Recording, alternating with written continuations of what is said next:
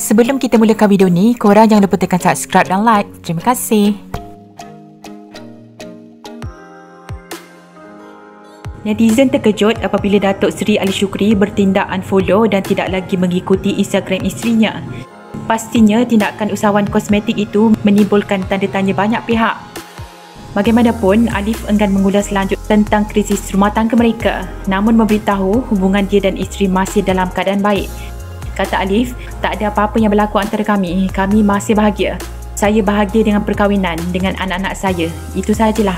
Buat masa ni saya tak nak sentuh langsung pasal keluarga saya. Yang lain-lain pun saya tak ada nak komen. Alif ditemui ketika sidang media pelancaran lagu terbaru nyanyiannya bertajuk Cuba Bahagia di Kota Damansara Petaling Jaya Selangor pada hari ini Jumaat.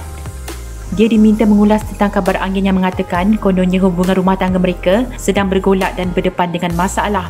Malah isterinya tidak datang ke sidang media tersebut dan memberi sokongan terhadap pelancaran lagu barunya itu. Lebih menguatkan spekulasi apabila usahawan ini muncul dengan single baru seolah-olah ditujukan kepada isterinya itu.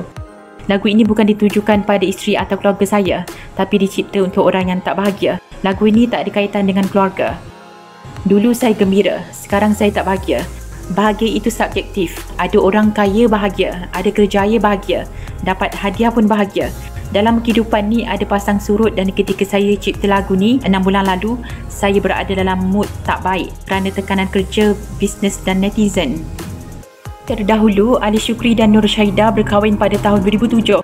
Pasangan ini mendapat lima orang anak iaitu Amar Ahyan, Khadijah Ali Zahra, Ibrahim Adam dan Yusuf Al-Kardawi dan Raudah Arsyah serta seorang angkat iaitu Aminah.